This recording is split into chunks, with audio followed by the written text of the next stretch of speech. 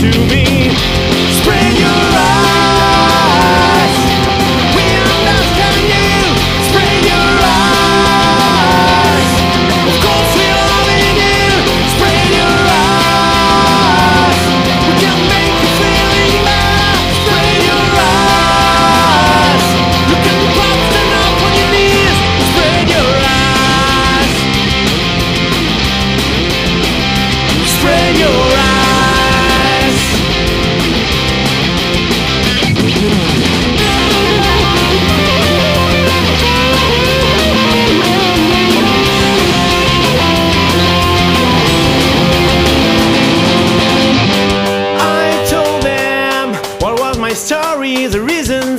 destiny, my deepest hated family, and what I love insanity.